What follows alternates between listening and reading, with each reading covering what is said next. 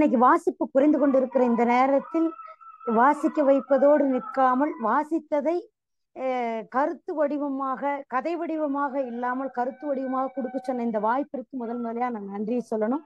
பாராட்டுக்களை தெரிவிச்சுக்கிறேன். எஸ்ரா ஐயாவுடைய கதைகள் வந்து ஒரு புதுவிதமான ஒரு ஒப்பனையா ஒரு கதை கொ- கொண்டு கொண்டு போகக்கூடிய அந்த முன்னோட்டமாக இருக்கட்டும் அவர் கையாளக்கூடிய திறமா இருக்கட்டும் எல்லாமே ஒரு வித்தியாசமான ஒரு இது. அவருடைய எல்லா கதைகளுமே எனக்கு பிடித்தமான கதை. எனக்கு ரொம்ப பிடித்த கதைகள் இன்றைக்கு நான் உரையா நிகழ்த்தணும்னு நினைச்ச கதை வந்து கதவை தட்டிய கதை. அந்த தலைப்பே ஒரு வித்தியாசமா இருந்தது. கதை வந்து கதவை தட்டுமா? கதைக்கு உருவம் இருக்குமா? அஹ் கதை எப்படி பேசும்? அப்படியெல்லாம் ஒரு சிந்திச்சு ஒரு எதிர்பார்ப்பு உருவாக்குற மாதிரி இருந்தது. முதல்ல அவருடைய தலைப்பே இந்த கதைக்குள்ள என்ன இருக்கும்? இந்த கதை எப்படி பேச போகுது? அப்படிங்கிற ஒரு எதிர்பார்ப்பை உருவாக்குற மாதிரி ஒரு தலைப்பை கொடுத்துட்டு உள்ள கொண்டு போவார் பாருங்க. முதல்ல அதுல அந்த கதையை அறிமுகம் செய்யற விதமே கதவை தட்டுற ஒரு சத்தம் கேக்குது. உடனே வெளியே வந்து அந்த கதவை திறக்கிறாரு. கதவை திறந்தோடனே கதை சொல்லுது நான் தான் கதை என்று. அப்போ உடனே அந்த கதவை திறந்தவர் சொல்றாரு நான் ஒரு கவிஞன் நீங்கள் முகவரி மாறி வந்து விட்டீர்களோ அப்படின்னு. இல்ல இல்ல. அஹ் இப்ப கவிஞர்கள்லாம் கதையை விட்டுட்டு வந்துட்டாங்க. என் முதல்ல எல்லாம் கதைகளுக்குள்ள நெருக்கமா இருந்தாங்க இப்ப விட்டுட்டு வந்துட்டாங்க. நான் க- சரியான இடத்துக்கு தான் வந்திருக்கிறேன் அப்படின்னு. உடனே கவிஞன் சொல்றாரு நான் வந்து இங்க நிறைய கதைகளோட பாக்குறேன் நிறைய கதாபாத்திரங்களை பாக்குறேன். ஆனா அந்த கதை என்பது எனக்கு ரொம்ப சிக்கலா இருக்கு. அவங்களை கையாளக்கூடிய விதம் எனக்கு ரொம்ப கடினமா இருக்குது அப்படிங்கிற மாதிரி அவர் சொன்னோன்னே இவர் சொன்னாரு. நான் வந்து ஏன் உன்னை தேடி வந்தேன் அப்படின்னா நான் இவர் ஒரு கவிஞன்னு சொன்னார் இல்லையா? கவிஞனை தேடி கதை ஏன் வந்தது அப்படின்னா நீயே ஒரு கதையா மாறி இருக்கிற அப்படிங்கறதா உண்மை. அதனாலதான் நான் உன்னை தேடி வந்தேன் அப்படின்னு. உடனே சொல்லுது ஆமா ஆமா உண்மைதான். நான் ஒரு பெரிய தொடர் கதை தான் என்னோட வாழ்க்கை. நான் பிறந்தது ஒரு கதை. அப்படியே முழுமையா நம்ம வாழ்க்கையினுடைய வெறுமையை ரொம்ப அழகா சொல்லுவார்.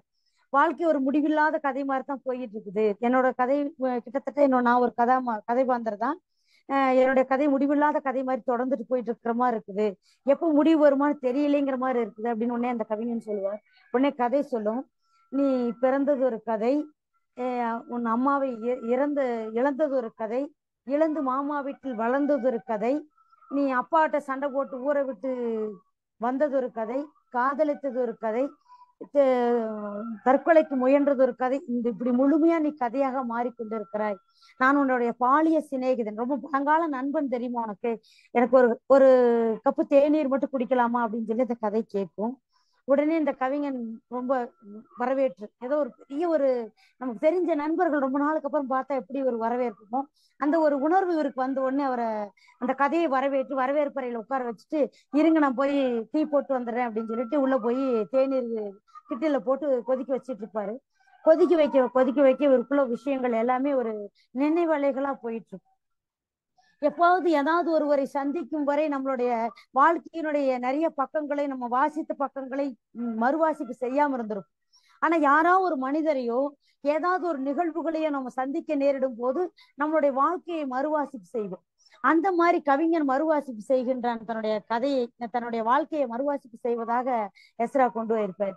அந்த டீ கொதிப்பு அந்த கொதிக்கக்கூடிய அந்த தருணம் அந்த நொடி பொழுதுக்குள்ள இவர் கவிஞன் யோசிக்கிறான். அதாவது இவர் ஒரு கிராமம் அந்த கிராமத்துக்குள்ள இருந்தா நம்ம கவிஞன் ஆக முடியாது அப்படின்னு சொல்லிட்டு ஏன்னா இந்த இந்த சூழலும் இந்த இடங்களும் நம்மை கவிஞனாக்க முடியாது அப்படின்னு சொல்லிட்டு இந்த நகர்ப்புறத்துக்கு வந்துட்டா இந்த நகர்ப்புறத்துல இருக்கக்கூடிய அந்த நெருக்கடிகளும் இந்த அந்த இயந்திரத்தனமான மனிதர்களும் இங்க சந்திக்கக்கூடிய பலவிதமான கதா மாந்தர்களும் நம்மளுக்கு பெரிய க- சூழலை உருவாக்கும்.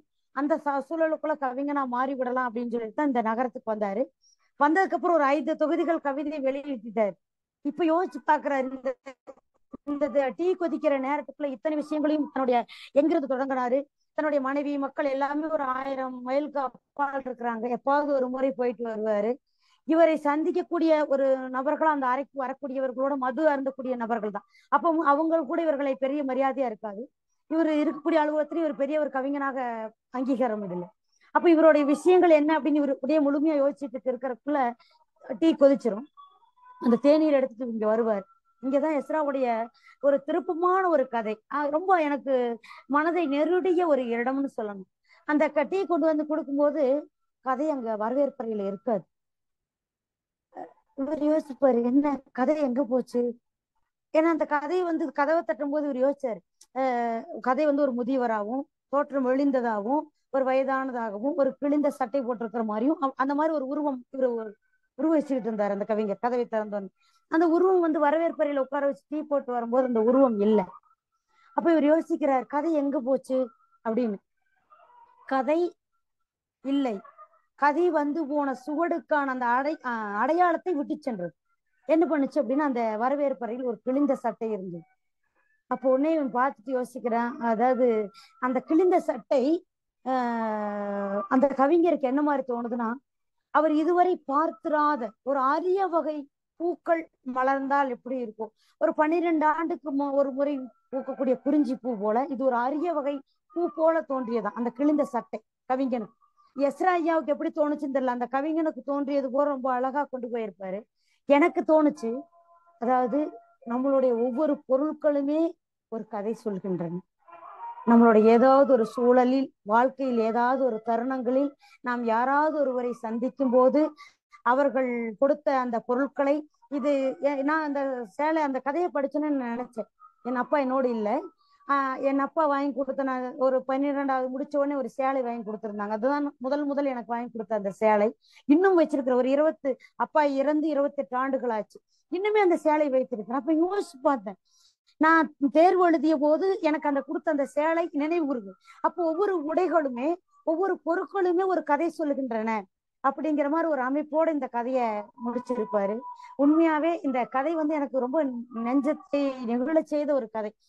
எஸ்ராவுடைய ஐயாவுடைய கதைகளை வந்து நிறைய கதைகள் இருக்கு.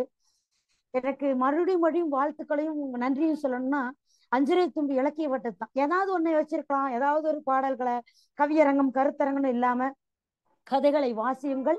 வாசித்ததை அவர் அழகா சொல்லியிருந்தார் கதைகளை மறுபடியும் வாசிப்பு செய்து விடாதீர்கள். கதையை அப்படியே வாசிச்சிடாதீங்க நீங்க வாசிச்சதை சுருக்கமா அதை ரொம்ப அடிக்கோடு இருந்தார். இத வந்து உண்மையாவே இதை பாராட்டணும். ஏன் அப்படின்னா கதை ஒவ்வொருத்தரும் வாசிச்சோம்னா அது ஒரு ரெண்டு மணி நேரம் போயிடும். அப்ப அவங்க ஒரு நேர மேலாண்மையை கடைபிடிக்க முடியாது. அதே சமயம் இந்த நேரம் இந்த கதை எதுக்காக இந்த நேர மேலாண்மை வைத்தாங்கன்னு நான் யோசிச்சு பார்த்த போது தெரிந்தது ஒரு மணி நேரத்துக்குள் நிச்சயமாக பத்து கதையை நம்மால் வாசிக்க முடியாது. ஆனால் கேட்க முடியும். நல்ல ஒரு உயரிய நோக்கத்தோடு உயரிய குறிக்கோளோடு தொடங்கப்பட்ட அஞ்சுரை தும்பு இலக்கிய வட்டத்துக்கு என்ற நெஞ்சார்ந்த நன்றிகள். இந்த நல்லதொரு தருணத்தில் நல்லதொரு தளத்தில் எனக்கு வாய்ப்பளித்த அத்துணை உள்ளங்களுக்கும் நன்றி பாராட்டி இன்னும் மீண்டும் மீண்டும் இது போன்ற கதைகளை வாசிப்பதற்கான ஒரு ஊக்கத்தையும் உத்- உத்வேகத்தை எல்லாரும் கொடுக்கணும். எல்லாரும் இதை சரியா பயன்படுத்திக்கணும். ஏன்னா பேராசிரியர்கள்ங்கிறோம் நம்ம இது மாதிரி படிக்கிறதுக்கு நேரம் இல்லாம பாடம் தொடர்பாகவும் மாணவர்கள் தொடர்பாகவுமே ஓடிக்கிட்டு இருக்கக்கூடிய இந்த சூழலில் நம்மையும் மீண்டும் என்னை பொறுத்தளவு மறுவாசிப்புன்னு தான் சொல்லி. எப்பவுமே நான் முதல்ல ஒரு நூலை வாசிச்சா வாசிக்கும் போது நே ஒரு நாள் எழுதிடுவேன் அதுக்கப்புறம் அதை மறுவாசிப்பு செய்யும் போது ஒரு நாள் எழுதுவேன். மறுவாசிப்பின் மறுவாசிப்பின் எழுதுறேன். அப்ப எத்தனை முறை அந்த புத்தகத்தை நான் தொட்டிருக்கிறேன் அப்படிங்கிற மாதிரி. அது அழகா சொல்லுவேன். மீண்டும் என்னை தொட்ட நாள் விட்ட நாள் எழுதி வச்சிருக்கு. அது மாதிரி எனக்கு எஸ்ரா ஐயாவுடைய கதைகளை மீண்டும் தொட்ட தொடுவதற்கு எனக்கு வாய்ப்பளித்த இந்த அஞ்சுரை தும்பி இலக்கிய வட்டத்திற்கும் நெறிய ஆளுகை செய்து கொண்டிருக்கிற ஐயா அவர்களுக்கும் எனது நெஞ்சார்ந்த நன்றிகளை சொல்லி என் உரையை நிறைவு செய்கின்றேன். நன்றி. வணக்கம் நன்றிங்கம்மா. கதையினுடைய அனுபவத்தை கொடுத்த உங்களுடைய பேச்சு மிக சிறப்பாக இருந்தது. ஏன்னா கவிதைக்கான தருணங்கள் வேண்டுமானால் அபூர்வமாக இருக்கலாம். ஆனா கதைக்கான தருணம் என்று பார்த்தால் ஒவ்வொரு தருணமும் கதை தான் எனவே ரொம்ப அழகா ஒவ்வொரு பொருளும் கதை சொல்லும். அதோடு நினைவுடைய உங்களுடைய நினைவினுடைய கதையையும் சுட்டி அஹ், மிக அற்புதமாக கதை குறித்து இங்கே உரை நிகழ்த்தி அமர்ந்திருக்கக்கூடிய அற்புதி அம்மா அவர்களுக்கு நன்றியை தெரிவித்துக் நன்றிங்கம்மா.